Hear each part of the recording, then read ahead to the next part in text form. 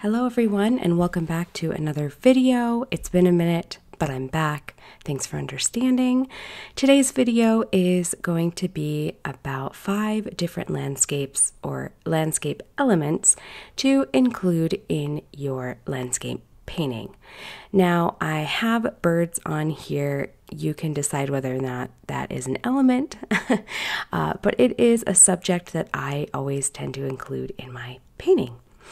Five of them are going to include mountains, trees, grass or foreground, birds, and rocks.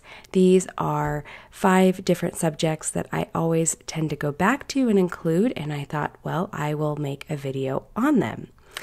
So I hope you enjoy and that you find value in this video and be sure to like and subscribe and let's go ahead and get started. So, the first thing I decided to paint were a cluster of trees. Now, these trees I always tend to paint as far as style, and I feel that they are really great for layering. In this tutorial, I decided to switch up my greens to add different values of lighter, more lime greens, and then darker greens. I also tend to uh, pull from cooler tones of greens, so you'll notice that as well. If you'd like a slow down, step by step, detailed description on how I do these trees, then go ahead and click the link below. I have done a tutorial on how I achieve different styles of these more wispy uh, trees. But as you can see, I have added lighter values and then in the front, I've added a bit darker. Now to make it darker, all I did was add a little bit of black to my darker greens. It doesn't matter what greens you use, I'll list them below if you're curious, but I always tend to go for deep sap green, perylene green, uh, and uh, black. The next thing I decided to paint were rocks. Now, I have added different shapes of rocks and different colors of rocks because not all rocks are created equal, and you'll find different rocks that will have moss on them, or they will be smooth, or they'll be uh, quite textured. Maybe there's dirt on them. Really depends on where you are in your own climate. The colors that I use for these rocks will vary between black, gray, brown, and greens. And then I even add, to emphasize more of those mossy rocks, some dark blue. You can use indigo, you can use olive green. It's really up to you. So that's actually what I'm doing here. I'm using my olive green, fading it into a lighter green, and then to get those shadows, I add indigo.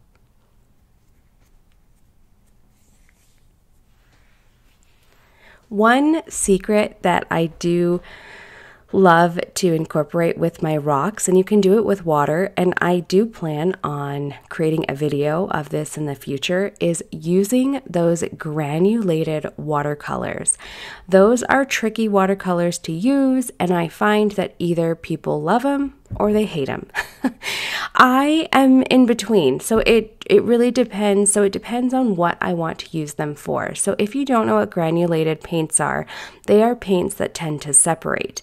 But not all colors are created equal. I find that the greens or more of the greenish yellows tend to separate and create this beautiful effect, perfect for rocks, in my opinion.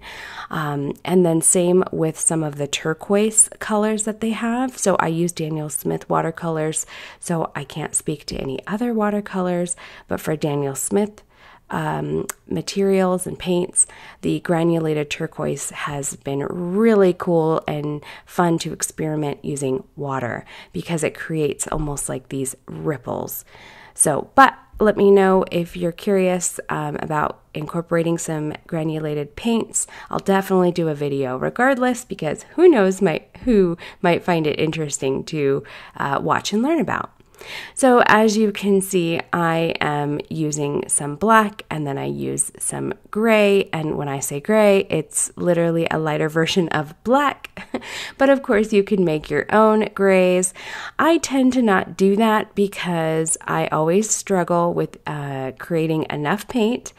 Um, and then I either make it too warm or too cool, and then I don't get the right shade. so I keep it real simple in my paintings. But let me know are you a fan of color mixing, or do you like to keep it real simple uh, like I do? No way is right or wrong, it's just preference, right? So I let those layers dry and now I'm adding in a second coat. You'll notice with watercolor, they always tend to dry lighter, which for me is a love hate uh, relationship because I am an artist who prefers lots of dark, depth, richness to my paintings, which you can get, I would say, easier in acrylic painting, but I am not an acrylic painter and I prefer watercolor medium mainly because I'm not a big fan of a huge mess, and when it comes to acrylic, I just, it's so messy. That's not a bad thing, but it's, you know, I feel like there is a bit more of a dedication to acrylic painting uh, versus watercolor, where I can just, you know, reactivate my paints and not have to worry about cleanup. That's what I mean. So I use a little bit of dry brushing on this rock and I did do a little bit of it on the top brown rock. I also added in some white. I kind of regretted that. When you add in white, it can get really creamy, which is quite nice, but I was not going for that effect here. But it ended up working out because I was able to blend it, making me think of what you would do in acrylic painting. Um, but it worked out, and then I added a little bit more of the black over the white.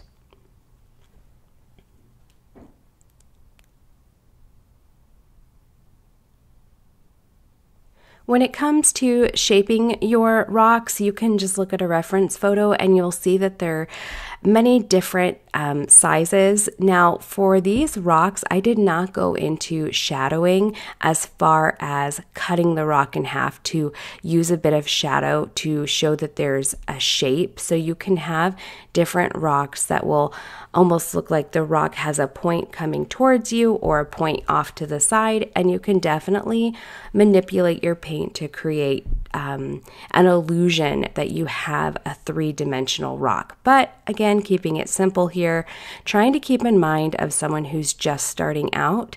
Uh, so I wanted to not do that because, well, one, I'm not very good at it, but two, I don't necessarily uh, paint that way. So, uh, anyway, I like to keep things simple.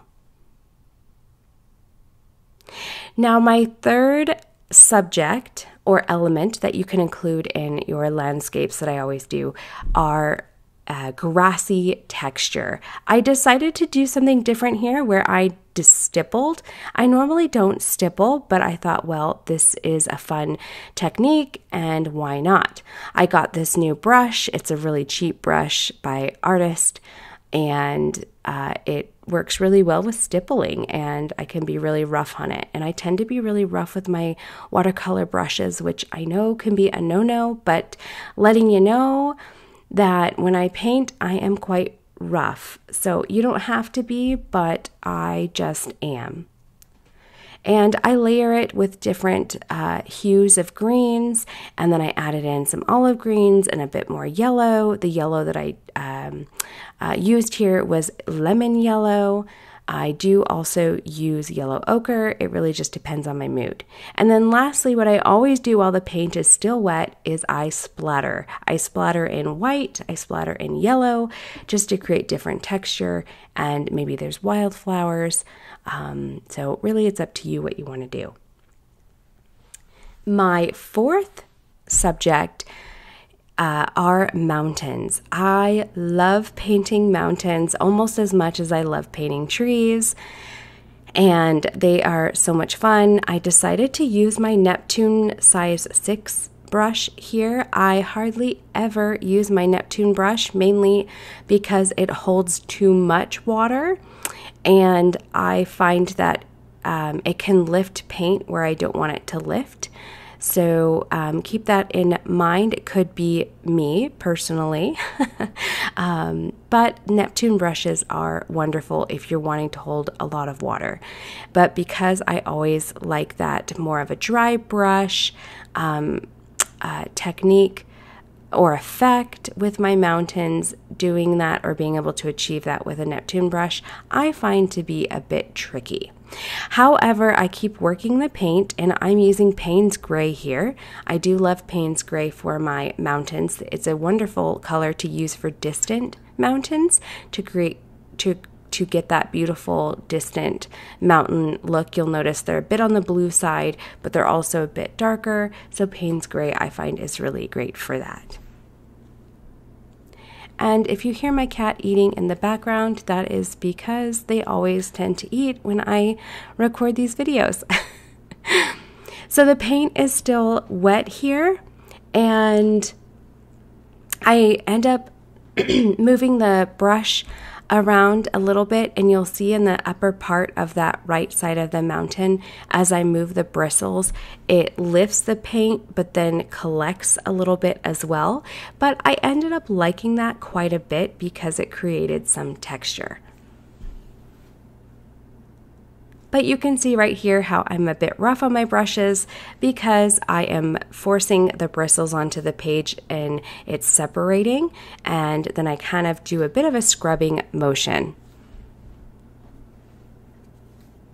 The paint is dry at this point now, and my second layer is using my Grabie watercolor brushes. You do not need these brushes. I know I always rave about these brushes, but the reality is it's a cheap watercolor brush. It's a very cheap brush, so if you don't mind being very rough on your watercolor brushes, then I recommend buying any detail brush. It doesn't have to be for watercolor.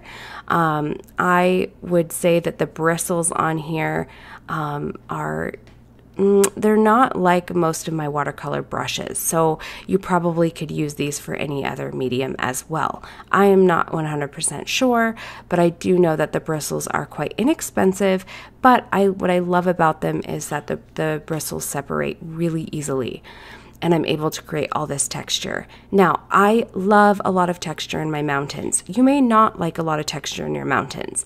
The reason I do is because that's what I see in my own local mountains. They're very rocky. There, there's not a lot of trees at the top. Um, they're very gray. So, if that gives you an idea of where I live, so I'm on the West Coast, and in the West Coast, we have a lot of rocky, rockier mountains and those very high um, tops are very jagged. The last thing that I include are birds. These are such simple birds. There's no detail to these birds, but I thought I'd add it. And it's just the one little last um, part of landscapes that I like to add to give it a nice touch. I found these wooden stamps that are letters, lowercase and uppercase, on Amazon, and I thought it would be fun to add these. So, if you are someone who journals or likes to incorporate these little things in your paintings, then definitely check them out. But that is it, everyone, for this video. I hope you enjoyed and found some value in what I shared. And these are only a little bit of subjects that you can incorporate in your landscapes. There are many, many more. But leave a comment below. Let me know what you think. And I look forward to seeing you in my next video. All right, take care, my friends. Bye.